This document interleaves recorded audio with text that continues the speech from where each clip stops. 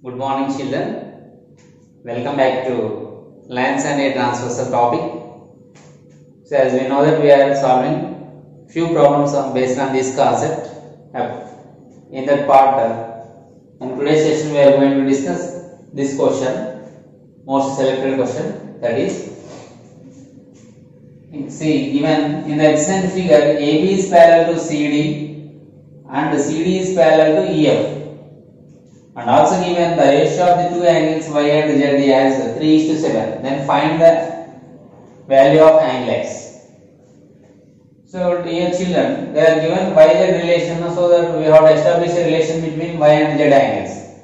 How to establish? See as we know that some vertical angles are equal.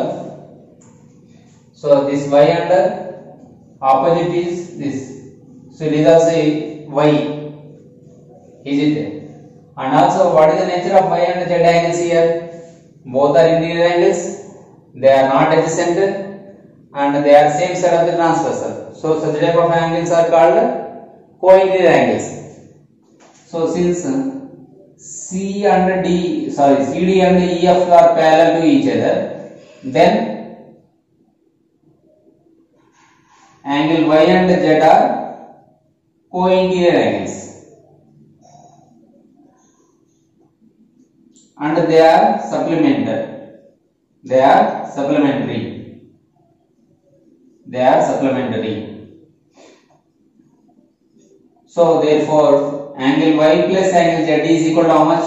180 degrees.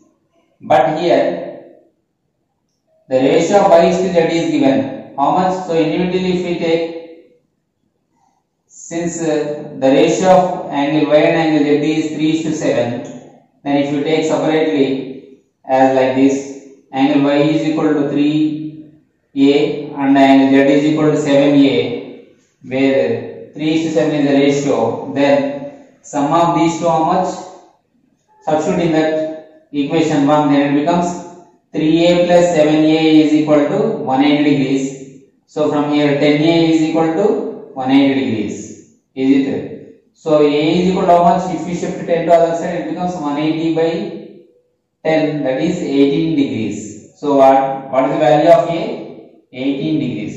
Is it? But what did they ask? They asked us to find x value.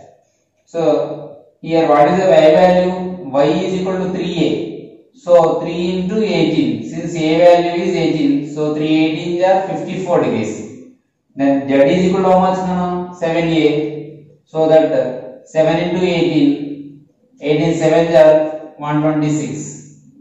Total 180. Is it?